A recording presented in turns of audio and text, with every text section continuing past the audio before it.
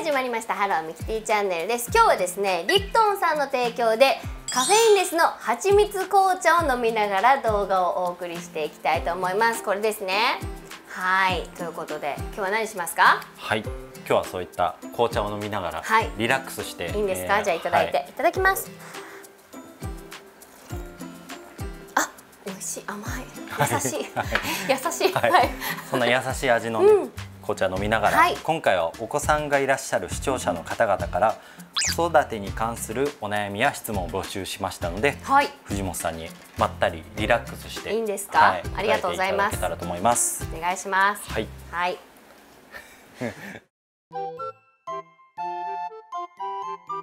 ハローミキティチャンネル。飲んで。あ、本当に美味しい。はい。うん。飲みます。進めてくださはいい。まずは乳幼児の子育て。はい。待望だった第一子を無事出産でき、とっても幸せなのですが、うん。たまにふと妊娠出産前の自由さ、うん。夫婦2人の時間の大切さを思い出して寂しくなることがあります。これから子供と一緒の楽しい思い出も増えていくと思うのですが、うんうん産後なこともあるのか、うん。情緒不安定になり 泣けてくることもあります、うん。はい、ミキティさんは産後寂しくなったりとか悲しくなったりとかしましたか？また夫婦2人の時間はどのくらいの頻度でとってますか？でも。私あんまり産後寂しくなると逆に産前うつみたいな、うん。産前に育てられるか不安で泣いてたみたいな時はあったけど産後はなんかそれどころじゃない。なんかもう悩んでたの何だったんだろうぐらい 全然寝ないじゃんみたいな感じでしたけどでもさなんか2人の時間はまあそれはもう前には戻れないっていう前提で2人の時間は本当今産んだばっかりだからあれだけど。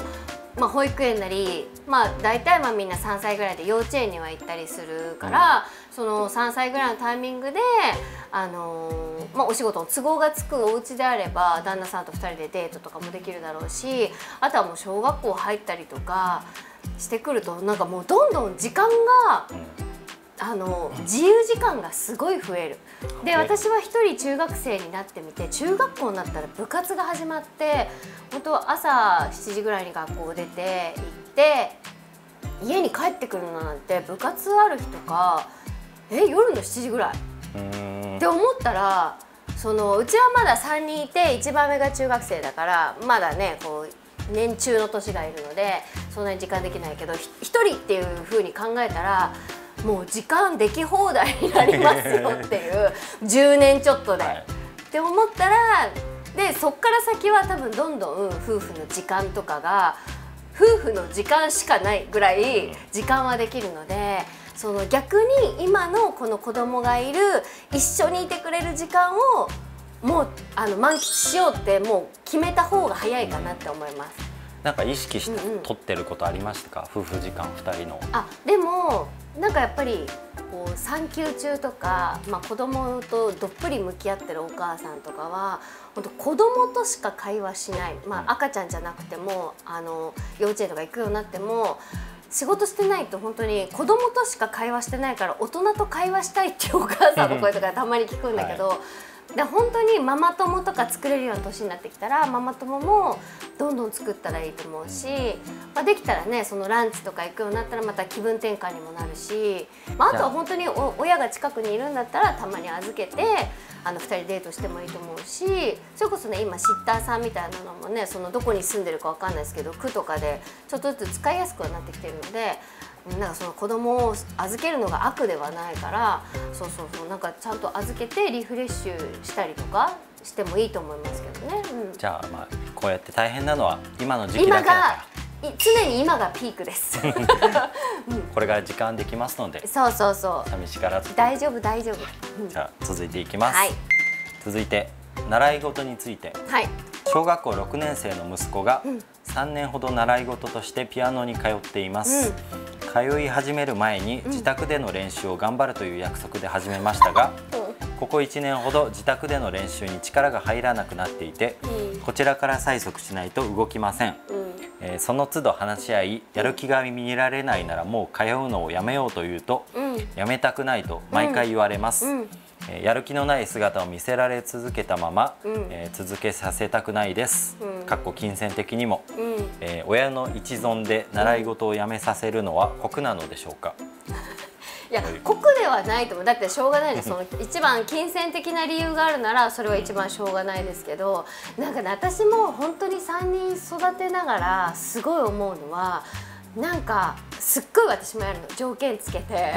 何かとこれやるんならいいよとかって言うんだけどもうそれやめた方がいいなって最近すっごく思ってて。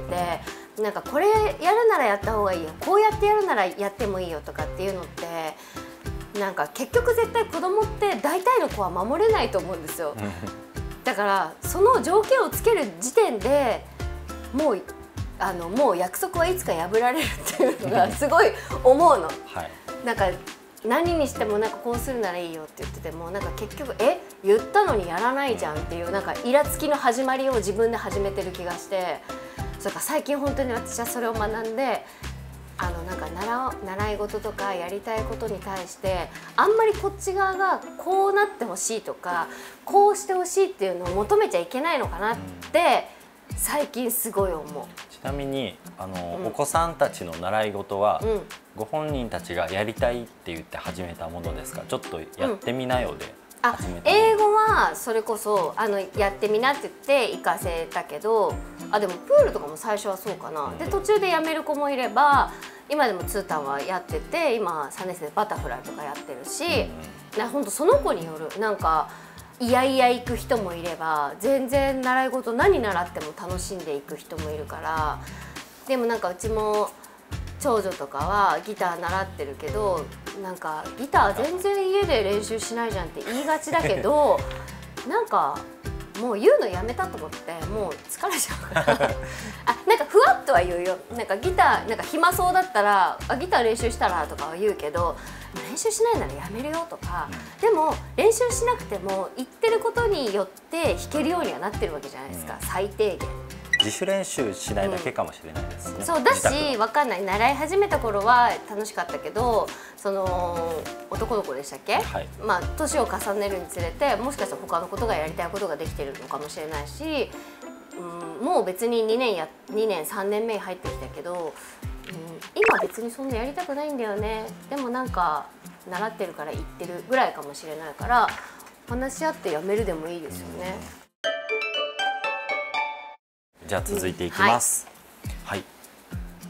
飲んでいただいて。どうぞ。はい。はい。お金の大切さについて。先日子供たちを連れて私の実家に遊びに行ったのですが、うん。その際中2の長男と小6の次男が台所で殴り合いの喧嘩を始めてしまい 実家の食器棚のガラスを割ってしまいました。ガラスを直すために業者さんに来てもらったのですが、うん。修理費は6万円超え子供たちがゲームやスマホを使う時間が増えているので、うん。充電器を壊すペースも上がっています。何でも物をすぐに壊してしまう子供たちに、うん。私はよくもう新しいものは買わないからねお金ないからねというのが口癖になっているのですが、うんうん。子供たちはお財布の中にお金あるじゃん。銀行とペイペイにお金入ってるでしょと 今時。理解してる時があります。うん。大人はいくらでもお金を持っていると思っている子どもたちにうん。どのように向き合ってお金の大切さ現実さを教えていくべきだと思いますか、へえでも本当一番厳しいのはさじゃあ自分でそのお小遣いこの分払えるまで渡しませんよとかっていうのが一番まあ厳しいよね。あこんなにかかるんだっていう、そのもう何万円の単位になってくると子供ってその何万っていう単位は分かってるけど、うんうん。その大変さとかそのお金の大きさが分かってないは分かってないですよね。なんか6万円って大きいんだろうけどどれくらいなんだろうみたいな漠然としてますよね。なんか自分で稼ぐことの大変さもね、うんうん。ちょっと分かってない時もありそうますからね。そうそうだからもう本当あれじゃない面倒くさくないんだったらさそのじゃあお小遣いとあのーお手伝いで払ってもらいますって言ってあのバイトの料金表作ったらいいんじゃない。の お風呂掃除100円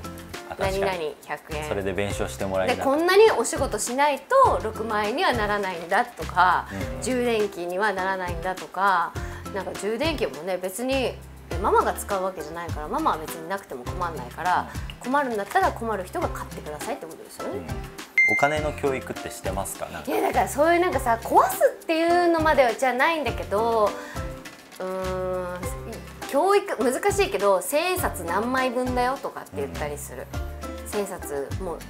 6枚60枚必要だねとか、で小学生には言ったりとかもするしあとうちの庄司さんが一回やったことあるのはその UFO キャッチャーで子供がどんどんお金を入れて4,000円ぐらいまで入れた、はい。でもう LINE 来ててそれこそ YouTube 撮影してる時に LINE 来て「今 UFO キャッチャーをやってます。このままだとあのどんどんお金を入れてます」みたいな「でも止めません」って来て、はい。どんどんなくなってるって意味も分かってないから、うん。僕は今日止めませんみたいな「あいいんじゃないですか」ってはい。でもさすがに4,000円まで来たので4,500円で止めました。っ てで止めてであの帰ってからじゃあその取りたかった人形買ったらいくらだったんだろうって調べて2,000円ぐらいだったのかな、うん。2個買えたねみたいな。で4500円あもうちょっと経ったらさゲームのさ一つソフト変えたじゃんとかっていうなんかこの分かりやすいもので変えて教えてあげたりとかあと本当にその4000円2人で4000円なくなったっていうやっぱり体験しないと4000円なくなったけど何か手元にありますか？って取れてないから何にもないまま4000円なくなってるわけじゃん。だからそうやっぱり体験させるっていうのも大事かなとは思いますよね。確かに。充電器も何円か分かってないですもんね多分。そうそうそう。が1000円2000円かかるっていう、うんうん。それが何個も食われてるのならそうそソフト変えたよねみたいうな、うんだからその UFO キャッチャーの時も UFO キャッチャーやるのはいいけど別にそれが全部じゃあぜ1回もやるなってことじゃなくってやる前にじゃあ1,000円にしようとか2回までにしようとかそういうの決めて大人もやってるんだよって言って、うん、なんかそういうの日々言ってるかも、なんか対比較対象を出してちょっと、そうです教えていねったらいいんじゃかないなと思います、うん。はい。じゃあ最後いきます、えー反抗期について。はい、今小4の娘に対して悩んでいます、うん。現在娘は反抗期で機嫌が悪いと当たってきて、うん。都合の良い時だけいい顔をしている態度にイライラします。成長の過程だと放っておきますが、うん。それとは別に友達関係で特にトラブルはないのかな、うんうん。えーうまくやっていけてるのかなと勝手に心配してしまいます、うんうん。えー何かあれば話聞くからねと常日頃子供たちに伝えていますが、うんどっしりと構えていなくてはいけない母業が辛いです、えー強い母でいるためにはどうしたらいいでしょうかと、えーでも反抗期はね本当悩みますけど、でも私もいやなんか何かあったら聞くからねっていうよりもなんかグイグイ聞いちゃうかも。そのなんか嫌なことあったとかじゃなくって、うん最近学校な何やってクラスのこの班班何班なのとかえダンス班とかさ、はい。はいなんかそこからなんかちょっとずつ会話を広げてなんか今何踊ってんのとかで会話でどんどんなんかその友達関係はなんとなく読めるからどんどん聞く。でなんかうちはその長女に関してはまだ反抗期は来てないけどやっぱりその時の気分とかでなんかお願いしたこと全然やってくれてないとかあるから嫌だとかあるから、えじゃあさってママもさ自分のことしかやらないよみたいな。ママだってみんなのことやってんじゃんみたいな、い、いんですねとかって言うとみんな大体やるかも。うん、小4ですそもんね。れでもちょっと早いよね。ちょっと早いですよね。うん、でもなんか結局その子育ての先輩たちを見るとあんまりぶつかってってもいいことがないからみんなそっと距離を置きながら見守るんだろうなとは思いますよね。そのいい時もあれば悪い時もあってなんかよく先輩のママが男の子中学生なんてもう本当えさっきまで一緒にテレビ見て笑ったのになんか駅まで送ったらもう扉ドーンって閉めて何にも言わないで行っちゃうみたいな本当にね不安定なってたから ああそういう風になっていくんだなって思うから。じゃあちなみに藤本さん親子時間って作るようにしてますか？作るようにしてます、中学生も会話してくれるし学校がバラバラでお休みになったりとかする時もあるのでそういう時にあの一緒に出かけたりとかデートしたりとか、まあ、ママとっていうのもあるけどあのお父さんとっていうところもありますよね。でも本当にね今回のこのリプトンさんのこれですね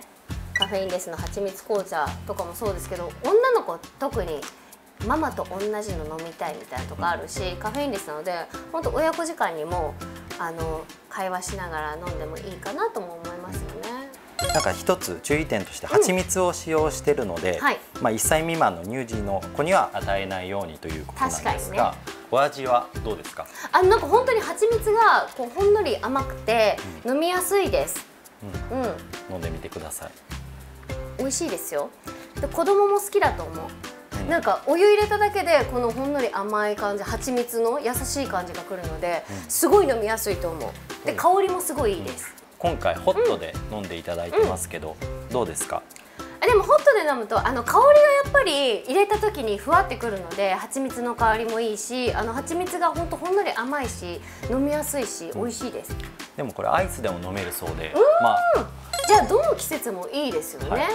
まあ、夏でもいけますしまあ、秋のちょっと寒くなってきた季節にはホットで本当だ。アイスで少し少なめのお湯で出すんだ。これあの牛乳を入れて蜂蜜ミルクティーにするのもおすすめらしいです。これホットでもアイスでもいけるってこと、うん、牛乳を入れるパターンは、はい、ホットでもいけるアイスでもいけるいい。なんかまた子供もなんか飲みやすくななるかもしれないですよね、うん、紅茶ってなんかカフェインが入ってるイメージあるじゃないですか。そうですよ。だからちょっと夜ゆっくりした時間に飲みたいけど、ちょっとカフェイン入ってたら眠れないんじゃないかみたいな。ね本当カフェイン敏感な人とかはね特にね、はい、寝れなくなっちゃうっていうのもあるけど、うん、本当にゆったり過ごすっていうのは夜が一番ねゆったり過ごしやすいから、はい、夜でもあのみんな飲みやすいっていうのは嬉しいですよね、はい、だからそのカフェインレスの蜂蜜紅茶なので、うん、落ち着いた時間にお子さんと飲んでいただいたらいいかなという、い、いかも。お風呂上がりの一杯でもいいぐらいですよ。はい。